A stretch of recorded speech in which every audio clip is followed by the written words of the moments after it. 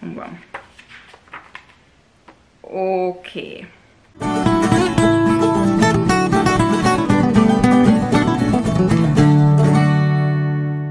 Sziasztok, Matilda vagyok, és a mai videó a júniusi összegzésem.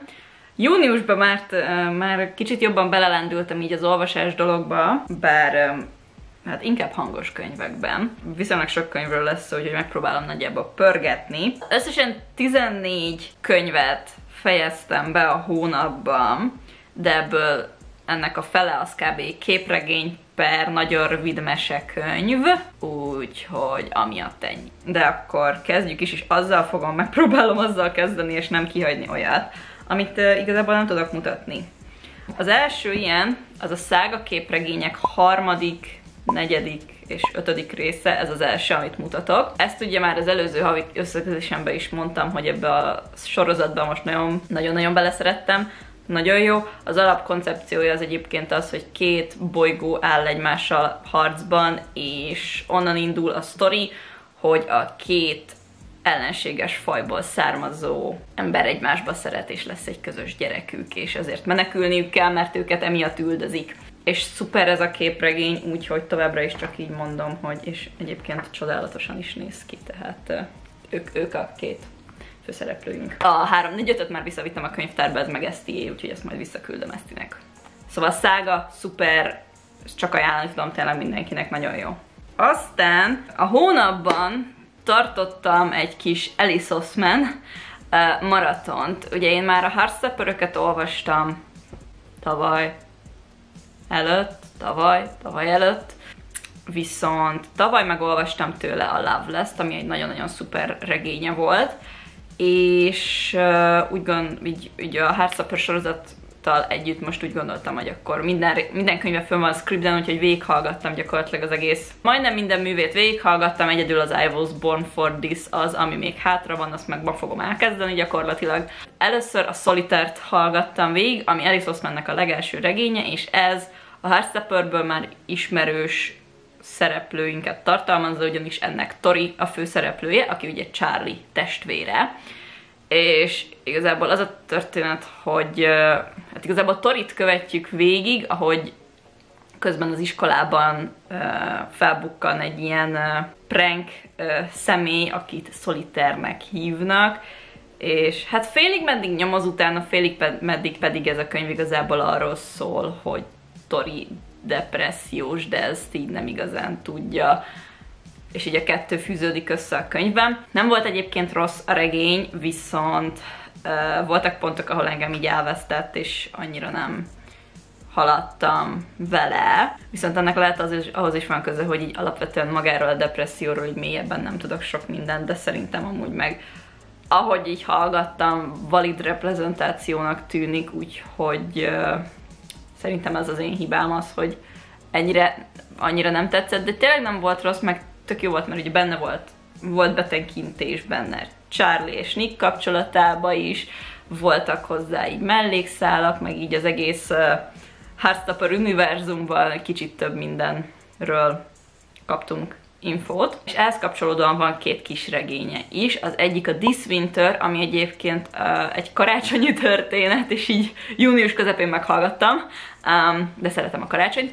Egyébként a This Winter története az említve van a Solitaire-ben is, csak ebben a külön kis regényben ki van fejtve, és egyébként meg akarom majd venni az összes Alice Osman könyvet, mert ezek eredetileg illusztráltak, és szeretném látni az illusztrációkat is, amik ezekhez készültek, mert a This Winter például egy nagyon-nagyon rövid sztori, az csak talán egy órás volt hangos könyvben, viszont fullosan illusztrált a kötet, úgyhogy majd azt szeretném. Szóval gyakorlatilag így tudja az ember, hogy merre fut ki ott a sztori, hogyha olvasta a szolitárt előtte. A Nick és Charlie pedig szintén a szolitárhez tartozik, bár annyira nem, érze, nem éreztem ezt hozzá tartozónak, mint mondjuk a This Winter-t, mert a, hát a Nick és Charlie az jóval utána játszódik, a, amikor Nick elballag középsuliból és készül egyetemre, és van köztük egy kis feszültség amiatt, hogy távkapcsolat lesz.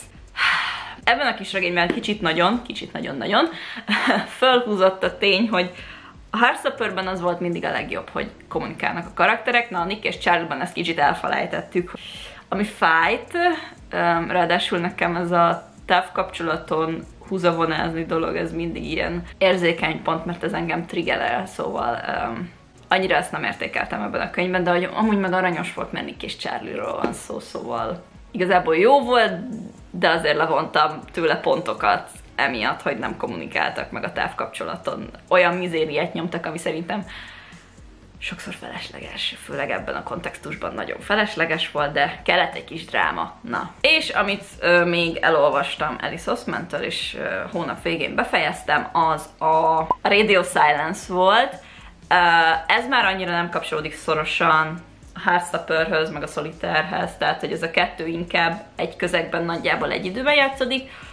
A Radio Silence meg egy két évvel mondjuk utánuk, és utalva van ebben is Nickre, Charlie-ra és Torira, de a nevük nincs kimondva, mert teljesen más karakterek, viszont az előzőekből ismeretes Aled az például az egyik fontos karakter benne, szóval van visszatérő karakter ebben is.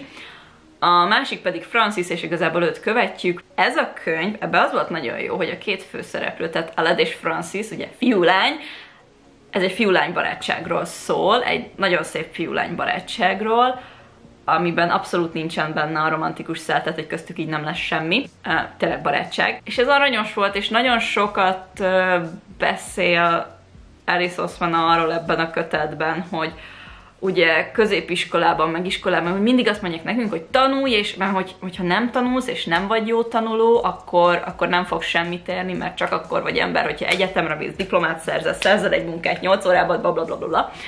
Dolgozol, igen. És olyan jó volt ez a könyv, hogy ilyen szempontból így ezzel foglalkozott, hogy Francis is ilyen, hogy ő az egész életét elképzelte, hogy elmegy a Cambridge Egyetemre, ott fog tanulni, lesz egy jó munkája, és útközben rájön, hogy nem is érdekli egyébként.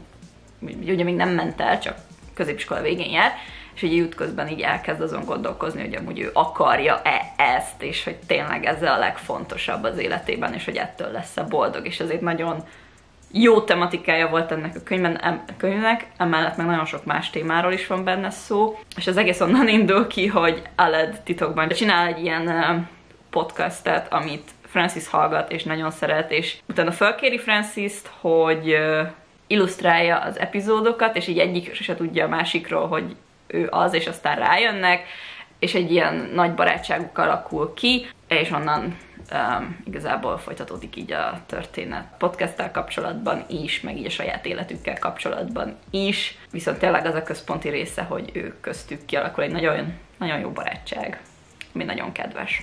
Továbbá talán ez az utolsó, amit nem tudok mutatni. Amíg itt volt nálunk, úgy gondoltam, hogy ezt a 30 oldalt oldalanként három sorral el fogom olvasni. Ez pedig az első könyvem a Fénysebességről című kötet. Főként azért olvastam el, mert nagyon szép. Nagyon szép illusztrációk vannak benne. Uh, hú, de a fizikával sose voltam jóba, de esküszöm, ez a könyv majdnem ugyanolyan jól elmagyarázta a fizikát, mint ahogy én tanultam középiskolában. Bár ez ugye egy gyerekkönyv, és voltak benne olyan leírások, hogy nekem is háromszor el kellett olvasnom, hogy felfogjam, szóval nem tudom, hogy ezt egy gyerek milyen gyorsan érti meg. De, de szép, szép rókás és aranyos, és nagyon-nagyon szép. Oké. Okay.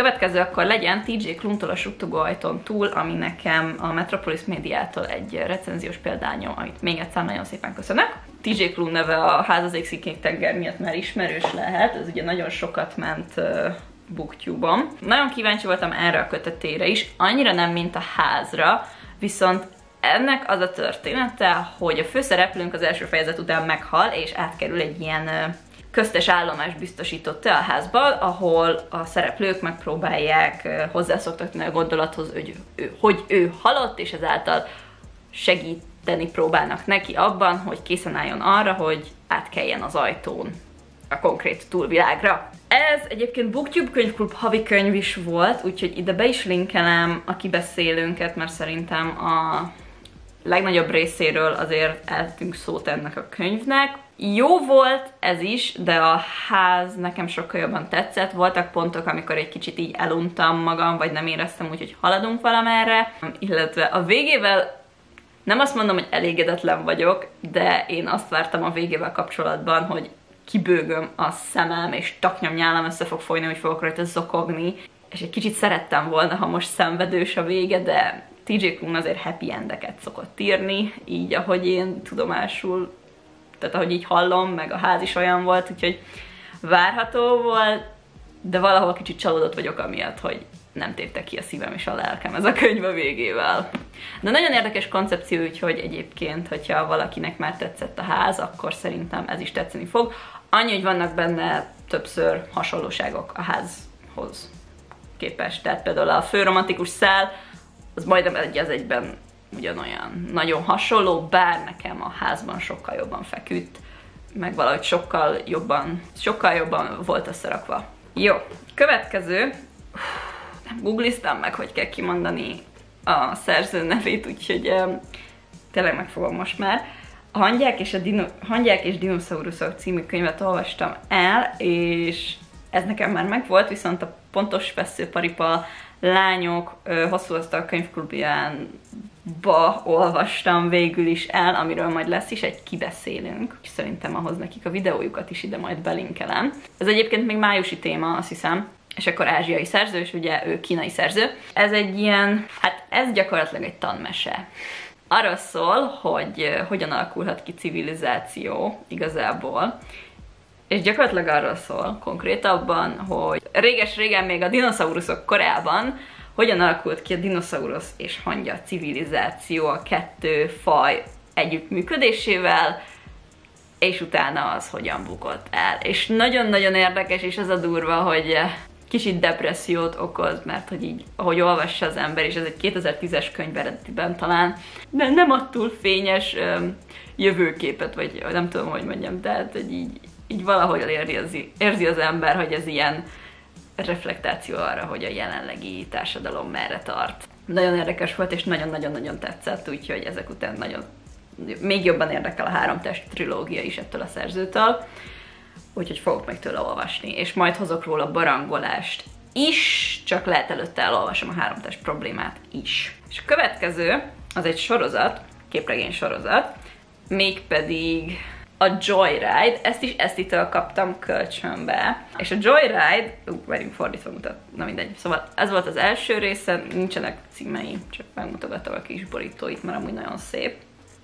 Szóval a Joyride-ról azt kell tudni, hogy ez egy ilyen disztópikus science fictionos képregény, Uh, LMBTQ is ráadásul. Hát arról szól, hogy a Földet körbeveszi egy ilyen Safe Sky burok, ami így elzárja őket a az univerzumtól, meg mindentől, és akkor a főszereplőnk az ki akar ebből törni, és magával viszi a legjobb barátját, meg még egy lányt, aki így véletlenül melléjük keveredik, és hát ez ő űrbeli kalandjaikról szól ez a könyv. Egyébként nagyon kis uh, halszám, tehát egy nagyon kedves, vicces, vidám maga a képregény, bár egy ponton vesz egy kicsit sötétebb fordulatot, mert van benne azért egy nagyobb rejtély is, meg egy nagyobb vonulata is van, de nagyon jó, és erre ezt fel is hívta a figyelmem, hogy van benne hozzá playlist, és ez azt hiszem Spotify-on, tehát ez van is van Spotify-on, még nem hallgattam meg, de megfogom. Úgyhogy ez egy nagyon kis felemelő olvasmányélmény volt. Eszti ajánlása, és ezt, ezt így adta kölcsön, hogy el tudjam olvasni. Valahol sejtettem azért, hogy tetszeni fog. Elvileg az utolsó sorban az egy másik mesekönyv, mégpedig Caroline McAllister-től a John Ronald sárkányai J.R.R. Tolkien története. Ez egy Tolkien életrajz mesekönyvben, tehát egyrészt nagyon-nagyon szép. Ezt amúgy apa vette nem tudom, nagyon durván akciósan a könyv héten. Igen, úgy mentünk el apával a könyv hétre, hogy apa mondta, ő nem vesz egy könyvet se. Vett vagy hármat. És akkor ilyen, mm, nem fókuszált, mindegy, tehát ilyen pársoros szövegek vannak egy-egy oldalon, tehát ez tényleg egy mesekönyv, és ilyen szempontból tényleg egy nagyon lerövidített életrajz.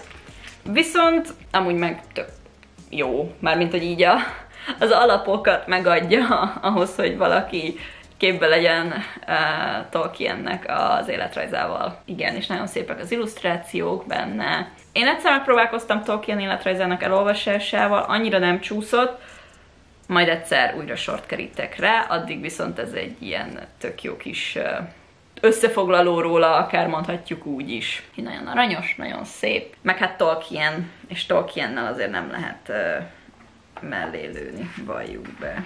Szóval, én ezeket a könyveket olvastam júniusban. Kommentben írjátok meg, hogy ti milyen könyveket fejeztetek be a hónapban. Köszönöm, hogy megnéztétek a videómat, hogyha tetszett, nyomjatok egy like gombot, és iratkozzatok fel a csatornára. Sziasztok, viszlát a következő alkalommal!